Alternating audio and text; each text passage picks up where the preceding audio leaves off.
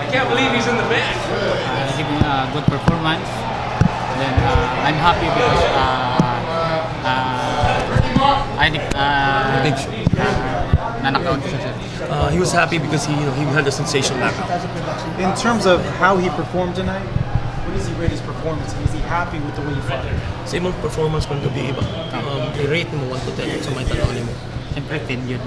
Imong tanawin mo Yeah, perfect. 10. Yeah, perfect. He was he thinks it's a perfect 10. Coach, Johnny, what's next? Do we have any names? I mean, we have the Japanese champion, 15 and 0, 15 KOs. He goes There's talks about Chocolatito. Yeah, bisan bisan pinsa uh, willing to fight. Right now, he said anybody. He just wants to fight the big, the, the huge names, big names out there, and whoever champion is going to come forward, he wants to take that fight. does he want to stay at this weight class or does he want to move up? And then does he have a Ganaka mo preference? ato one mistake of 112 o masaka 150. Uh, depende sa sa. No, no, no. What do you think?